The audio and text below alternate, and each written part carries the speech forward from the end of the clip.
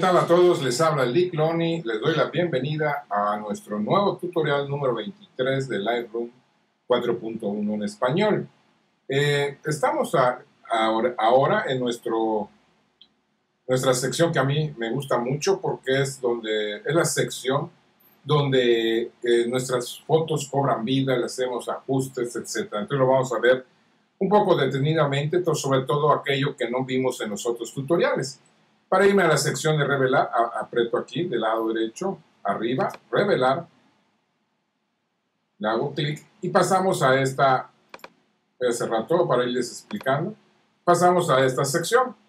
Como podrán ver, ya no podemos ver los cuadritos, sino solo lo que tenemos aquí en la parte de abajo. Si la parte de abajo la queremos ver más grande, le apretamos aquí, eh, aquí, y la podemos hacer más grande. ¿Correcto? Y para que podamos ver nuestras fotos. Eh, nosotros tenemos controles del lado derecho y tenemos controles del lado izquierdo. Los controles que más usaremos son los del lado derecho, pero vamos por partes. Vamos a ver los del lado izquierdo. Del lado izquierdo tenemos el navegador, que es este, eh, donde nosotros podemos eh, determinar para ver una foto, la acercamos y si queremos nosotros cambiar del lugar donde está nuestra foto, pues vamos moviendo el cuadrito de la izquierda, fíjense bien, para ir checando. Y en esta forma eh, también eh, vemos que está uno a uno. Si lo ponemos a encajar, ya no tenemos esa, esa facultad. Ponemos a otra vez y ya podemos ir uno a uno checando nuestra foto. Correcto, para salirnos de acá, pues le ponemos otra vez encajar y salimos. ¿Correcto? Del lado derecho tenemos nuestros controles para ir eh, modificando nuestra foto. Lo estoy haciendo a propósito, sin pensar, para que ustedes vean cómo se va moviendo los controles. Si queremos otro, ponemos otro. Ya vimos cómo colapsar este, este, estos paneles.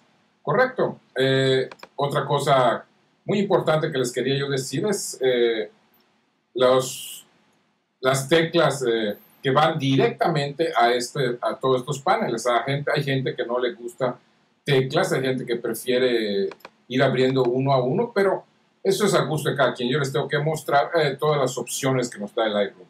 Y para hacer esto, por, eh, tenemos que pensar eh, en números. En el caso de, de Mac es apretar la, la letra Option y ponemos el número 0 o el número 1, perdón, es que no estoy ahí.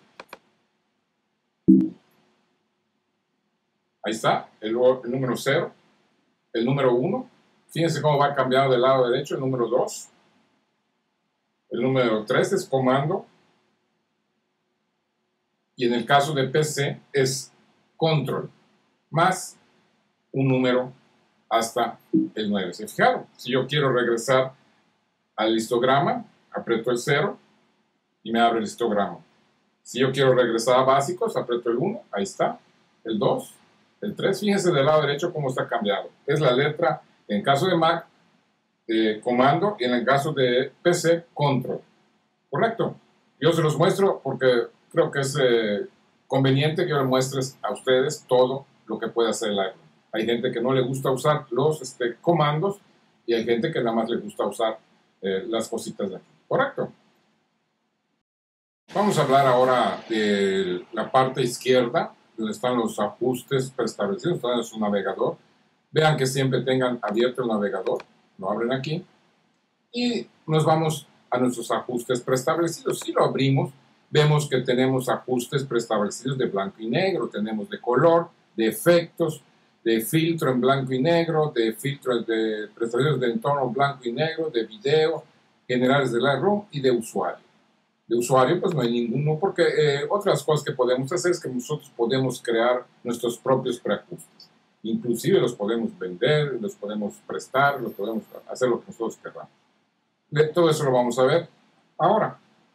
Vamos a abrir eh, uno de blanco y negro.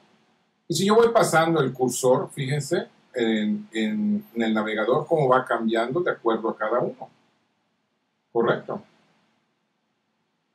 Si yo quisiera, vamos a decir, yo quiero este, la, forma de aplicarlo es nada más apretar.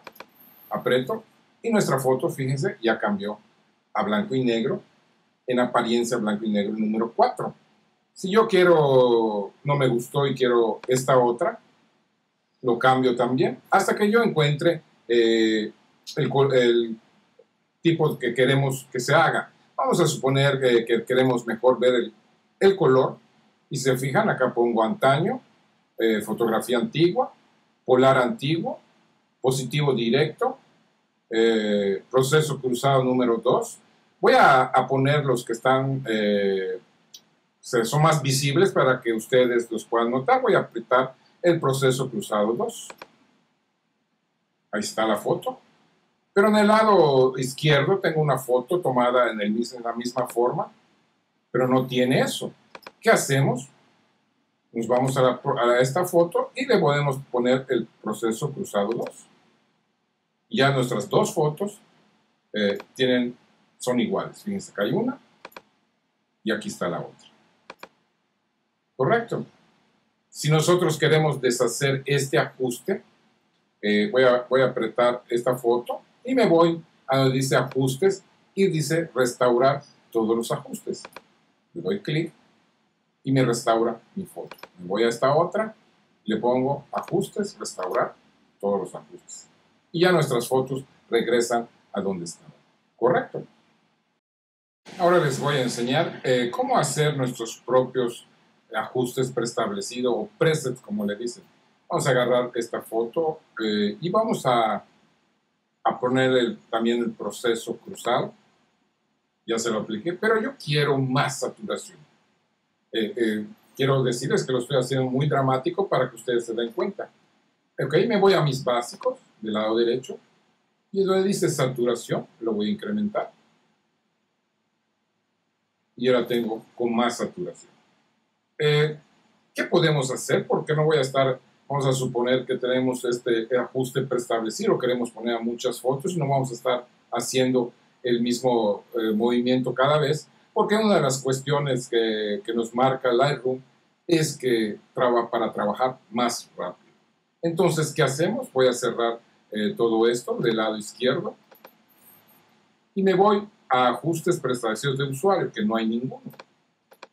Correcto. Y le pongo aquí ajustes la, donde dice el, signo de más, y me sale esta pantalla donde me dice cómo quieres que se llame tu ajuste eh, y nos muestra eh, si queremos que sea una parte o queremos que sea todos los ajustes. Voy a poner seleccionar todo y le voy a poner en esta parte eh, que era, a ver, déjame ver cómo se llamaba, era, bueno, no me acuerdo cuál fue el que le pusimos, eh, fue, por eso se hacen los presets, se llama eh, proceso cruzado 2. Entonces, volvemos a donde estábamos, ponemos entonces proceso cruzado, le voy a poner el signo de más, le voy a poner saturación, para que yo sepa que a este eh, ya tiene algo más este ajuste. Le pongo crear y en la parte de abajo dice ajustes, eh, en este lado, fíjense bien, ajustes preestablecidos del usuario, ya dice proceso cruzado más saturación.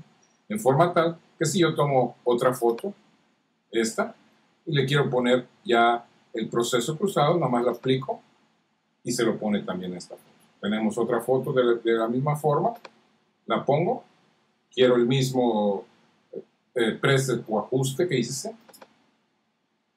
y ya mis tres fotos están iguales. Como les dije, una de las funciones de, de Lightroom es hacer las cosas más, lo más rápido posible. Correcto, no me gusta, eh, quiero volver a donde estaba, señalo esta, me voy a ajustes, pongo restaurar todos los ajustes, mi foto regresa.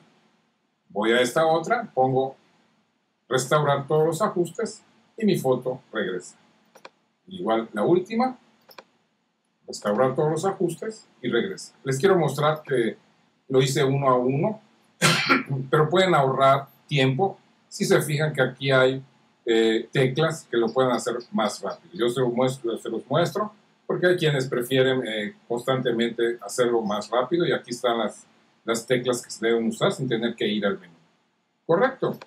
Eh, no quiere decir que vamos a hacer este tipo de cosas constantemente, pero sí, si nosotros logramos crear preajustes, si a, una foto y nos ha, ha gustado cómo ha quedado, ya no, y ya no tengamos que usar del lado derecho eh, todos los controles que están aquí, de todo, de todo tipo. Ahorita usamos la saturación como ejemplo.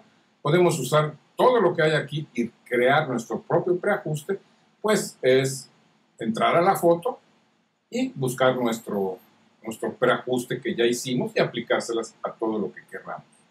Correcto, espero que les haya gustado eh, este tutorial. Aquí se crean también los famosos preajustes sepia, blanco y negro, los que ustedes quieren.